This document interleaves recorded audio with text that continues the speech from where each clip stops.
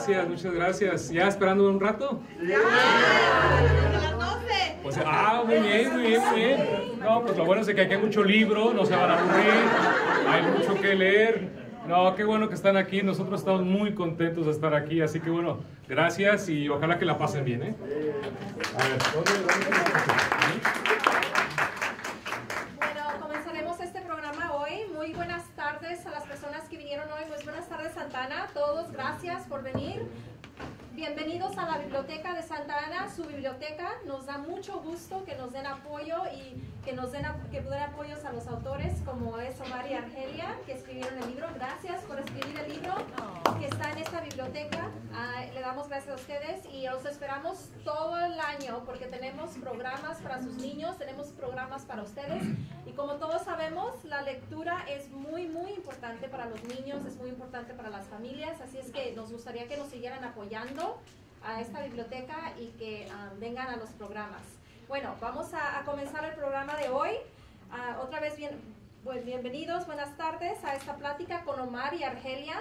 Yo soy Patti López, bibliotecaria principal de servicios para adultos, que coordiné el programa hoy con el equipo de, del staff que tengo aquí en la Biblioteca de Santa Ana. Y es un placer darles la bienvenida a nuestros invitados.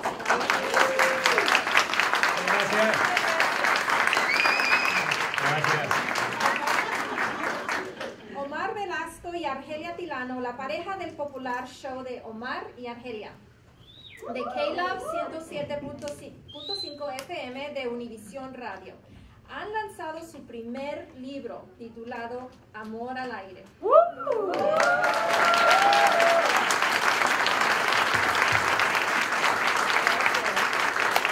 Gracias. Gracias, gracias. bueno, queremos eh, empezar rápidamente porque sé que hay muchos de ustedes que quieren tomar su foto, como María Angelia, y también que le firmen el libro. Número uno, me siento muy afortunada de estar aquí entrevistándolo. Le estaba comentando que estoy aquí frente a expertos, así es que me van a ayudar un poco. Eh, ustedes tienen muchos rasgos que son similares. Eh, ambos nacieron fuera de Los Ángeles, pero se criaron en Los Ángeles, ¿verdad?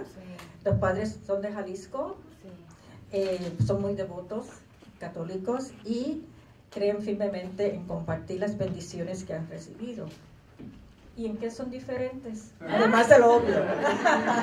Eh, ¿Sí me escuchan bien? Sí. ¿Ahora a mí me escuchan? Sí. ¿El micrófono sí está fuerte hasta ahí atrás? No, ¿verdad? No, ¿verdad? Yo también escucho como que no me escucho. ¿No hay manera de que se vengan así más cerquita con nosotros? No hay manera. Déjame quitar el Que nos encanta que, que, estén frente a frente. Ah, Argelia, espérate, esto es, aquí hay niños. Dios mío santo, esta mujer no se aguanta ni un poquito. No sé, si, no sé si el micrófono se escucha. A ver. Querido, pues de una vez, ¿no? Que empiece el show. ¡Ah! El micrófono, está aprendido, está aprendido. Sí, pues que no, me ahí ¿En qué son diferentes? Sí, bueno. Hola, hola. ¿En qué somos diferentes? Es que somos diferentes. Oye, primera vez que nos hacen esa pregunta. Ah, hay mucha la diferencia y sobre todo no tanto en el programa, porque en el programa creo que pueden ah, escuchar que sí, estamos siempre en conexión. Pero ya fuera del programa creo que es eh, donde se notan bastante nuestras diferencias. Ah, para empezar, yo fuera del micrófono y fuera de la cabina soy muy callado. Súper callado. Ah, muy introvertido, un poco tímido y un poco así como que solitario. Entonces, e, ella no, ella sí es como está en la radio, está fuera de la radio, así que ah, en ella no hay mucho cambio. esa sería una gran diferencia de nosotros. No se escucha. A ver, Inclusive a ver, ¿ya me escuchan? Eso. Ah, la pregunta es, ¿en qué somos diferentes, Argelia y yo, aparte de ser hombre y mujer? Y les, eh, yo eh, comentaba que la diferencia yo creo que se, se nota más fuera de, de, cabina, cuando ya estamos fuera del aire, que cuando estamos en el aire. Ah, ah, en lo personal, mi personalidad fuera del micrófono, fuera de la, de la cabina, es una personalidad un poco callada, no tan alocada como de repente escuchan en la radio. Ah, y, Argelia no, Argelia, eh, así como la escuchan en la radio, es fuera de la radio, ella sigue platicando y platicando y platicando y platicando. No me callo. Y yo dije, wait a minute, where's the off? off. No, no es cierto, no es cierto. Eres una gran diferencia. Eh, otra gran diferencia, pero a mí me encanta esta diferencia entre Omar y yo, es que aunque crecimos en Los Ángeles, pues sí hay una diferencia en, cómo crecimos, ¿no? Yo soy una chica que nace en Chicago, y, pero la mayoría de mi vida la, la, hago en el sur de California, en San Pedro, eh, luego en Pomona, luego en el este de Los Ángeles. Entonces mis experiencias como jovencita, como adolescente, de repente le sacan de onda a Omar cuando le digo, oh, ¿te acuerdas cuando esto y esto y esto y la música? Y él, no sé de qué hablas. Oh, el chiste de hablar de George López. No lo entendí, no sé por qué es chistoso el chiste de George López. Entonces siento que de repente no identificarse conmigo en ese sentido de mi juventud nos hace muy diferentes, pero es muy padre porque yo con mucho orgullo le cuento cómo crecí siendo una chica de Los Ángeles y él me cuenta sus vivencias como niño y joven creciendo en Guadalajara, muy de Guadalajara, ¿verdad? Y, y, eso se me hace muy padre, muy divertido. Muchas gracias. Seguimos descubriéndonos todavía cuando yo estaba leyendo el libro, es muy ameno y, y muy personal. ¿Qué fue lo más difícil que, le, que tuvieron que hacer cuando escribieron el libro? ¿Qué, qué, fue lo más que fue más un reto o decir, ah, no, quiero hablar de eso? Pues mira, como tengo el micrófono ahorita, aprovecho. Eh, muchos de ustedes saben mi historia, ¿no? Porque en la radio he compartido mucho de mi vida personal.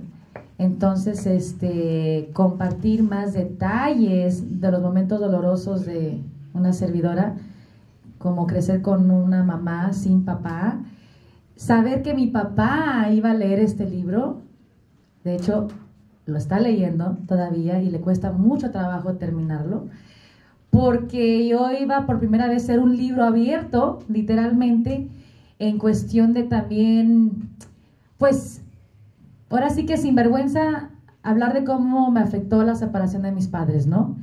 Y, a, veces hay familiares que me dicen todavía, ¿por qué cuentas esa parte de tu vida? Como que se avergüenzan de que lo que me pasó a mí por causas del destino con mi papá debe de ser ocultado. Y para mí no, para mí es contar esa historia porque existe y porque siento que muchas jovencitas les pasa lo mismo vivieron lo mismo y hay quizá resentimiento o odio hacia la persona que abandona el hogar. Y en mi caso es mostrarle a un público o a la audiencia o a las jovencitas que se puede perdonar al papá y que mi papá también se perdone él mismo.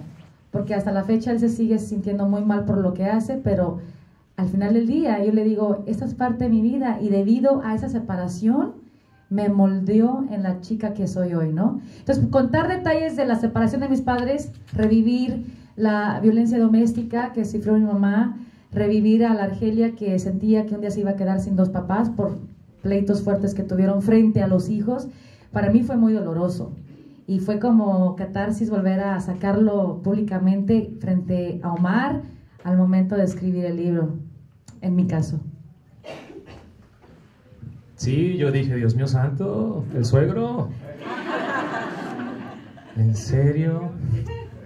Voy a parar porque no creo, no sé si me están viendo.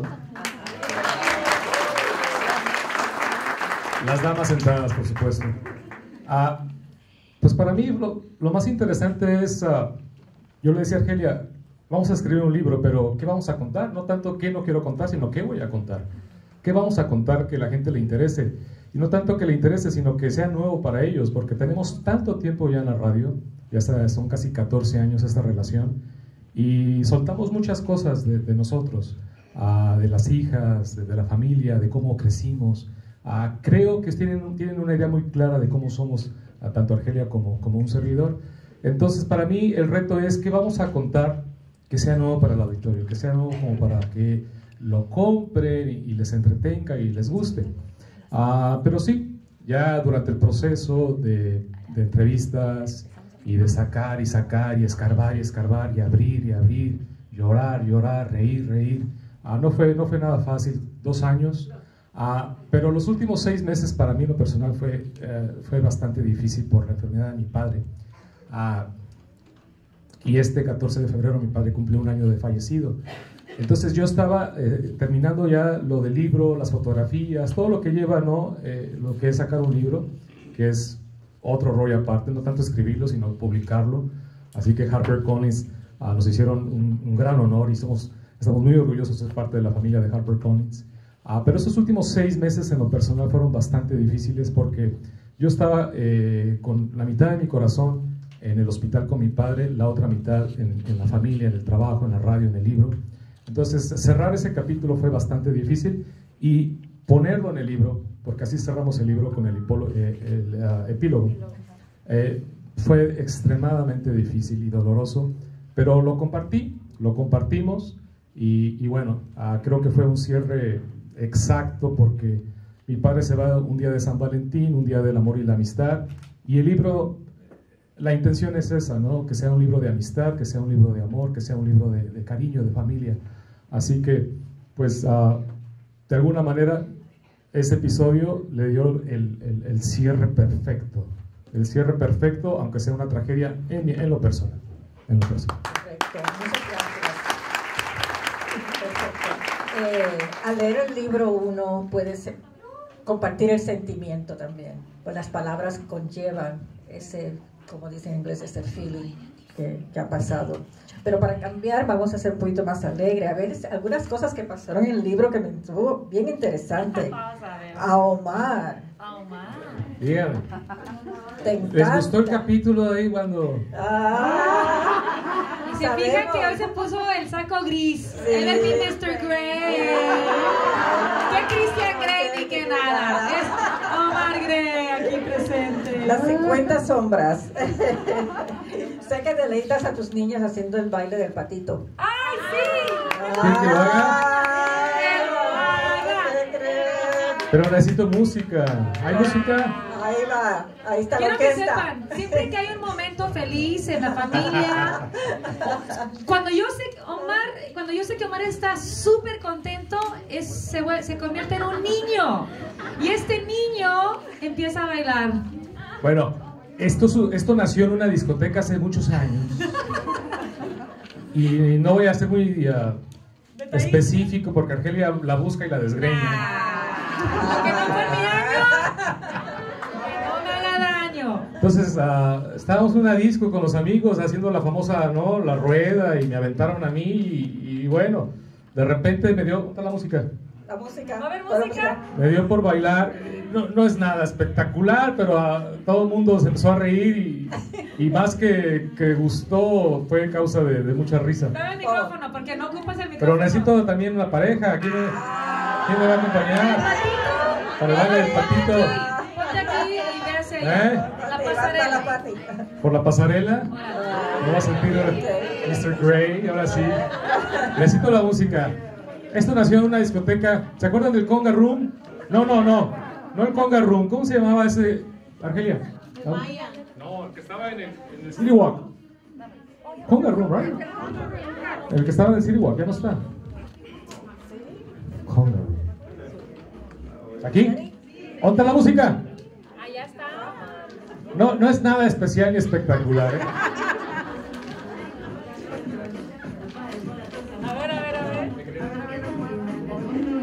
¡Patito!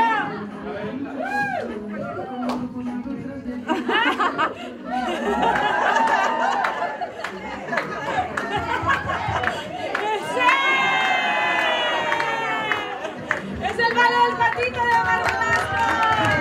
¡Bravo! ¡Bravo! Ese es el famoso baile del patito, nada espectacular. Y a las niñas. Pero miren, chequen el rato. Ese pasito después, ¿quién lo sacó en un video que se hizo muy popular? El famoso... Style. Yo empecé a hacer esto, ¿no? Lo empecé a hacer así, ¿no? Y después lo vemos en el... En el, en el- en- y un éxito mundial. Y el tipo se hizo millonario con este pasito que yo había inventado hace 10 años atrás en una disco en Los Ángeles. Y nadie le hizo caso. E- Esa, esa es mi tragedia. Está perfecto. Mira, estaba pensando, si el libro de ustedes se hace en una película, ¿quién le gustaría que protagonizaran su personaje? Fíjate, Julia Roberts, really? ¿Les gusta Julia Roberts para que haga el papel de Argelia? Ustedes mismos. Ustedes Nosotros mismos, yes, ese, ese no me gusta. Nos metemos a un acting coaching class de 101 y You don't need it. No, porque Omar siempre dice que Brad Pitt es su hermano gemelo. Brad Pitt. No, ya no.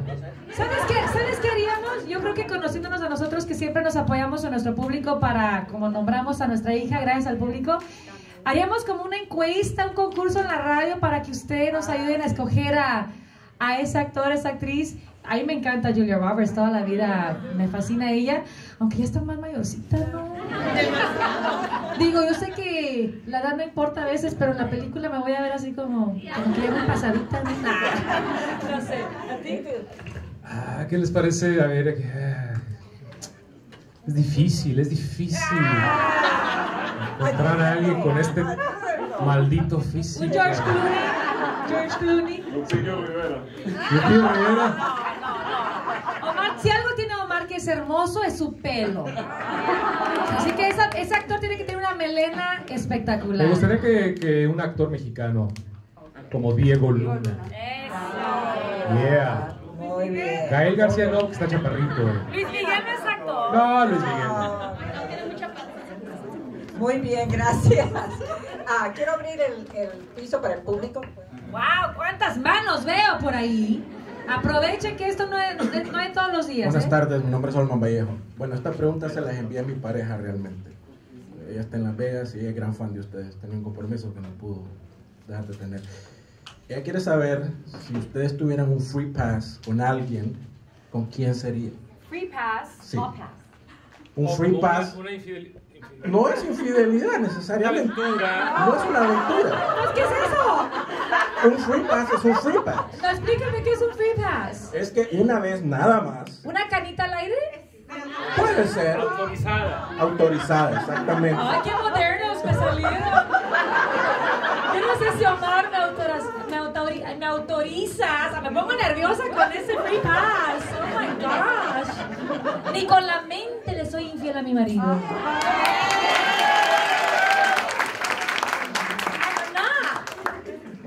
No, eh, ¡Omar, sí! ¡Me siento engañada! ¿Estás segura? Digo, porque va, va y viene, ¿verdad? O sea, no, no, no, no. Eh, no. la verdad que no. Aunque me dieran el free pass, no lo tomaría. Y, bueno, bueno, no creas que por. No, no, no. Porque ella sabe que mi amor platónico está Lía y, y tengo varias, pero llegar a ese punto no. Mi nombre es Odette Patricia y mi pregunta es acerca del libro, porque mucha gente quiere comercializar con los libros y lo primero que me llamó la atención de ustedes es que todo el dinero lo van a donar. Am, ¿Cómo nació ese deseo? Es, es, es algo que se alaba, es algo de veras que admiración. Am, ¿Cómo nació esa idea de decir, de renunciar a todos los beneficios económicos para donarlos a una scholarship? Esto se me hizo una- un gran detalle. Gracias. Pues mira, yo creo que va muy de la mano con mi insistencia en sacar un libro hace cinco años por, con la intención de compartir nuestra historia tan particular, quiero pensar, porque pues no todos los días uno se casa con el colega, ¿verdad? Entonces yo le decía a Omar, aquí hay una historia de amor que podemos compartir con el mundo y también para que nuestras hijas cuando crezcan tengan esa historia en sus manos. Ni por aquí nos pasó, hay que hacer dinero con este libro, ni por aquí. Estamos nosotros dedicados a la industria de la locución y de ahí pues nos mantenemos, gracias a Dios, pero nunca sacamos un libro para hacernos ricos, mucho menos millonarios y no, no, para nada. Y como nuestra historia de éxito es gracias a la educación que recibimos, al menos en mi caso fue porque fui a la universidad, gracias a gente que creyó en mí. Entonces los momentos que estamos viviendo, que no son nada nuevos, hay una gran necesidad de seguir aportando y ayudando a los jovencitos de hoy, que sí es muy caro ir a la universidad, y ahora más que nunca. Entonces nuestra historia es una historia de inspiración y motivación, pero también decimos, no nada más escuchen nuestra historia, el centavito que vamos a ganar va a ser para tu sueño. Y de ahí nace la, la idea de, de recaudar cada dólar de verdad, cada dólar a las fundaciones. Y si algo me pone más feliz es que Omar, gracias a este libro, de alguna manera, eh, también crea su propia fundación.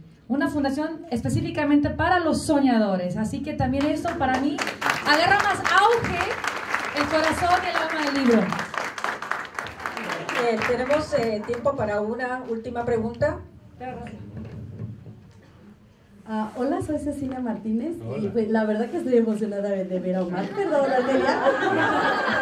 ¡Aprovecha los dos tuyos! Tengo un free, tengo un free, free pass. Bueno, eh, nosotros escuchamos todas las mañanas, los escuchamos y mi pregunta es, en realidad de veras fuera de su fuera del, de la estación cuando se enojan ustedes ya fuera de la estación ahorita que escuché que ya es en serio se enojan así se pelean pero de repente este, como que se voltean a mirar y, y, ya sonríen o si de veras siguen enojados. No tremenda pregunta. Es la que siempre nos hacen la respuesta es sí sí nos enojamos sí cómo no no seríamos una pareja normal si no nos enojaríamos. Lo importante es eh, que lo resolvemos al momento, al instante. Al momento. ¿O lo ignoramos? No. A lo mejor por mi carácter y mi personalidad, sí quiero alejarme un poco de la situación en ese momento, uh, pero Argelia es la que insiste, insiste, insiste, hasta llegar a un acuerdo y continuamos. Sí, yo no puedo con el silencio. La ley de hielo que a veces Omar quiere aplicar no va conmigo. Digo, por eso hablo mucho, ¿verdad? Yo tengo que hablar las cosas en su momento para poder seguir siendo una mujer feliz. Y yo siempre le he dicho a Omar, lo platicamos, y no tiene que ser una discusión larga.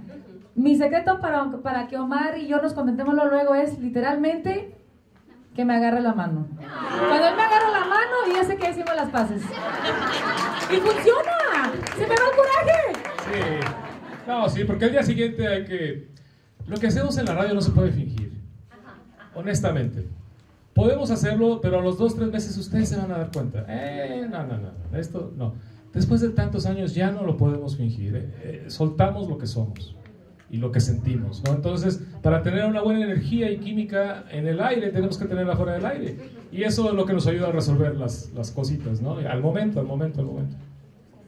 Pero sí, sí nos enojamos y más seguido de lo que ustedes pensarían. Muchísimas gracias.